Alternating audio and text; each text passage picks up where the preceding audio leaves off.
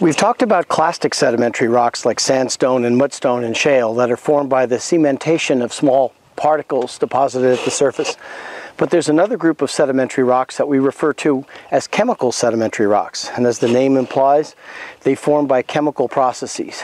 Certain minerals are soluble in water, like salt, sodium chloride, or uh, gypsum, calcium sulfate, or borax. And under the right physical and chemical conditions, those minerals can come out of solution and form deposits that later become a sedimentary rock.